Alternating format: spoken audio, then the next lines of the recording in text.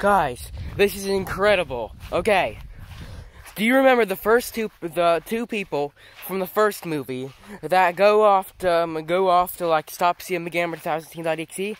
Well, I finally decided to give them a name after like months um, of trying to find a good name for them. I finally found the perfect two names for them: Jeremiah and Jenny.